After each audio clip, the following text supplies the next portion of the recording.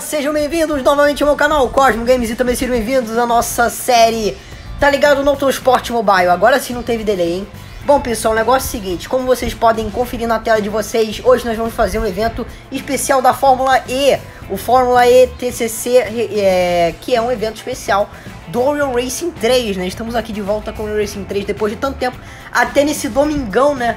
Que geralmente é um dia que eu não, não costumo postar vídeos, mas já que a gente está na naquela aquela aquele hype da Fórmula E, né? Porque hoje vai ter o Grande Prêmio.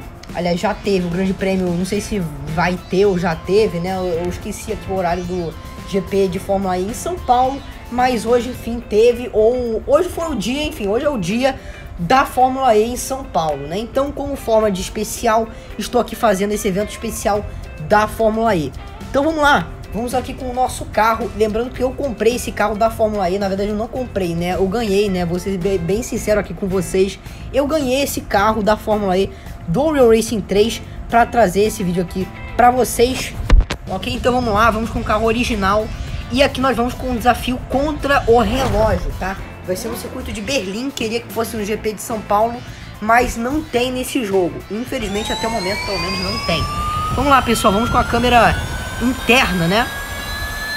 Vou fazer uma volta. Opa! Pessoal, vamos lá. Esse aqui, lembrando que é um desafio de volta mais rápida. A gente já tem que começar aqui no Fórmula E, ele é um pouco mais delicado. Os pneus são um pouco mais finos, então todo cuidado é pouco, tá? Olha, olha, olha. Aí, pega em penalidade de tempo para você ver que Fórmula E não é tão fácil quanto as pessoas imaginam, né? Os circuitos em si são bem difíceis também. Então tem tudo isso envolvido. E começa a desaceleração para fazer a curva. Olha como é difícil.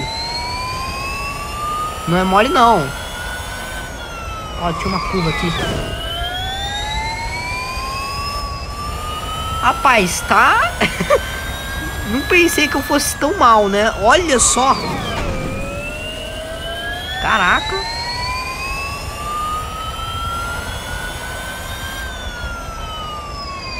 Um carro difícil, né? Mas isso é um challenge. Aí, essa curva eu fiz certinho. Beleza, corrida concluída. Esse foi uma, essa foi uma volta rápida. Até bati um novo recorde pessoal que eu tinha ido tão mal na outra vez. Mas bom, pessoal, agora eu vou fazer o seguinte. Vamos pro próximo desafio do Fórmula E. Isso na Alemanha, vamos lá. Vamos lá que vai começar, os carros elétricos vão dar largada. Luzes verdes acesas, largada perfeita de Matheus Brasil para esse início. Já vem pegando o vácuo do seu companheiro de equipe já vem fazendo ultrapassagem, uma, uma manobra espetacular de Matheus Brasil. Deu uma travadinha ali, legal. Mas vem com tudo Matheus Brasil. Parece que agora não teremos mais desafios bobos, né? Vamos lá, Matheus Brasil vem liderando. Vem liderando a prova com facilidade. Vem no desaceleration agora. Faz um contrabalanceamento, que agora é uma curva difícil. E Matheus Brasil. Dá uma batida ali rápida. Tem um encostado no muro. Isso danificou o seu carro, com toda certeza. Faz um drift Matheus Brasil lindo. Lindo drift. Espetacular. Opa, opa, opa, opa, opa, opa. Vem pra ETA, vem pra ETA, vem pra fechar, vem pra fechar Matheus Brasil. E a gente vem pra vitória aqui com Fórmula E. Espetacular! Conseguimos a vitória, 1-12. Bom tempo. Aquele negócio, não tô muito treinado, mas tá bacana o tempo. E agora para finalizar, nós vamos nisso aqui, ó, nesse nesse modo de jogo, que é um modo de jogo Fórmula E. Aqui a gente pode correr customizando, aliás, customizando não, economizando a nossa bateria, né? Se ela acabar a gente perde, ou seja, temos que ali gerenciar a bateria do carro. Aqui a gente pode recarregar a bateria freando ou usando a inércia das curvas, e os controles foram alterados para o modo manual e a assistência de freios foi desativada.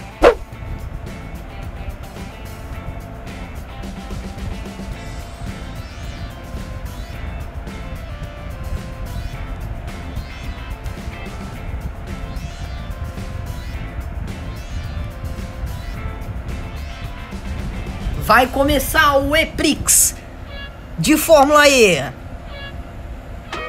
Com Fórmula E, Matheus Brasil faz a largada. Bateria dele tá um pouco arriada. Tem que ver a bateria desse carro. E Matheus Brasil vem pra frenagem, já faz algumas ultrapassagens importantes. Vem pra cima de toda a galera. Tentando ultrapassar, achando brecha, Matheus Brasil. Calma aí. Calma aí. Pra não dar aquelas batidinhas bobas, né? Temos aqui o Jack Knife. Lá, Jack.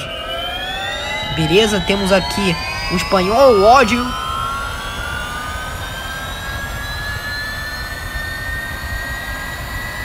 E Matheus Brasil para fazer ultrapassagem para cima do ódio e para cima do Jackson também. Grandes ultrapassagens. Uma aqui na cautela, porque o Fórmula E precisa de um pouco de cautela também, né? Opa, opa. Ai, ai. Opa, opa cuidado. Ih, teve evidação aqui, hein? Segura. Vamos pra cima do Jojo. Aceleração máxima. Aqui na frenagem, pra cima fazer a ultrapassagem Segura. Tem alguém aqui? Nossa senhora.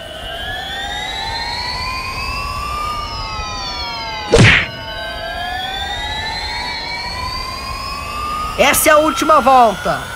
Matheus Brasil se encontra na quarta colocação.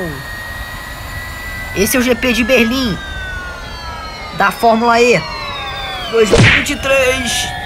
Nossa, é impossível fazer as curvas.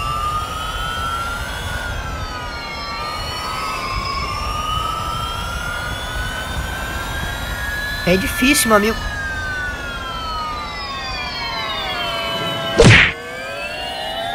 Caraca, hein? Difícil Fórmula E.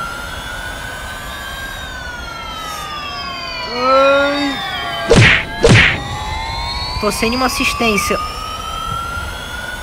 Vai acabar a bateria, mas também vai acabar o, a corrida. Ui conseguimos a quarta colocação. Sei que não foi pódio, não foi segunda colocação nem primeira, mas é, bom, foi um resultado contável. Bom, pessoal, é isso aí. Espero que vocês tenham gostado aí do nosso vídeo especial da Fórmula E. Esse vídeo de domingo, né? Que domingo geralmente não sai vídeo. Mas é, eu achava um vídeo que não podia passar. Esse dia não podia passar em branco, né? GP de São Paulo aí, Eprix. Aliás, Eprix de São Paulo. Então, Vamos valorizar a Fórmula E e Prix aí da, da Fórmula E. Espero que vocês tenham gostado. Comentem o que, vocês acham dos novos carros da Fórmula E, da pista de São Paulo.